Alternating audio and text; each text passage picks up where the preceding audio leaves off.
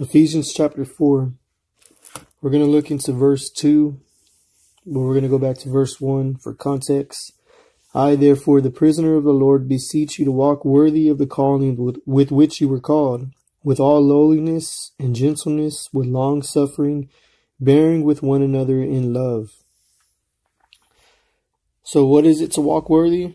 Well, first of all, he goes to in all lowliness and meekness. Uh, Jesus said in uh, Matthew 11, verses 28 through 30, Come to me, all you who labor and are heavy laden, and I will give you rest. Take my yoke upon you and learn from me, for I am gentle and lowly in heart, and you will find rest for your souls.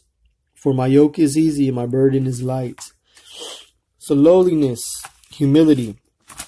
Paul speaks of himself as being the least of the apostles and not even being worthy to, of being called an apostle, but he said, But by the grace of God I am what I am. 1 Corinthians 15, verses 9 and 10. And in uh, the last chapter, Ephesians 3 8, he referred to himself as less than the least of all the saints. Uh, the Bible puts a, a, strong emphasis on being humble, uh, but the world doesn't look at that as a virtue. But here Paul's saying part of walking worthy is being humble, walking uh, in lowliness, all lowliness, thinking of others more than yourself. And it's a contradictory. It, it, it doesn't make sense for a Christian to be self-centered. Uh, that's that's that shouldn't be. Um, the more you're growing in Christ, the more you're going to be Christ-centered and other-centered. You're going to be serving other people uh, for Christ's sake. You're going to be serving Christ as you're serving the people as well. And so another thing, meekness or gentleness.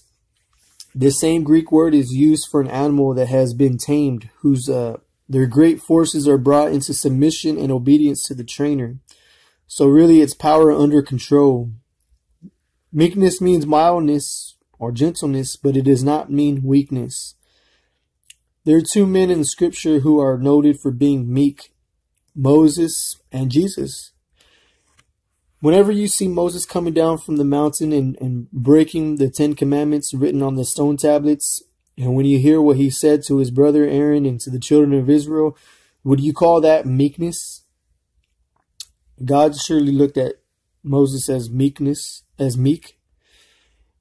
When Jesus went and drove the money changers out of the temple, was that meekness? It certainly was.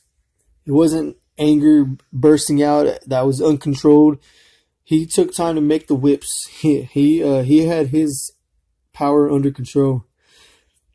The world has a definition of meekness, and that makes it synonymous with weakness. But the Bible calls meekness a willingness to stand and do the will of God regardless of the cost. Meekness is bowing yourself to the will of God. And again, meekness is another thing that the world may not look at as a virtue, or something to be aimed uh, that's someone's aim in the world.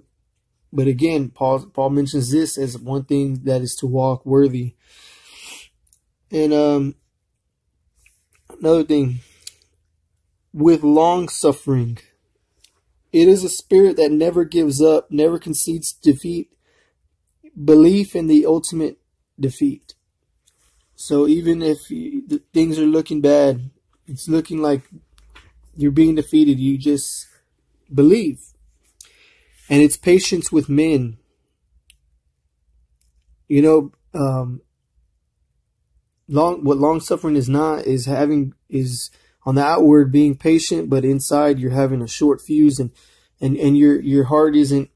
Uh, your heart isn't patient, but whenever, as you grow in the long suffering, even your heart becomes long suffering.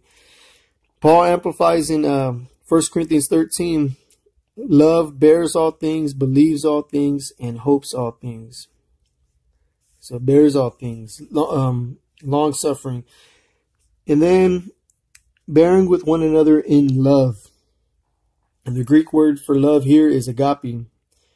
And in the Greek, there are four words for love: eros, which is passions; philia, emotional love; storge is like a family love, but here it's agape, a word, um, love on a spiritual level, really.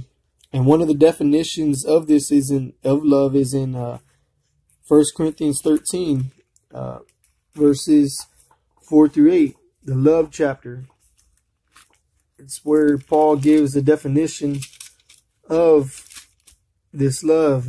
As he says, love suffers long and is kind. Love does not envy. Love does not parade itself. It is not puffed up, does not behave rudely, does not seek its own, is not provoked, thinks no evil, does not rejoice in iniquity, but rejoices in truth, bears all things, believes all things, hopes all things, endures all things.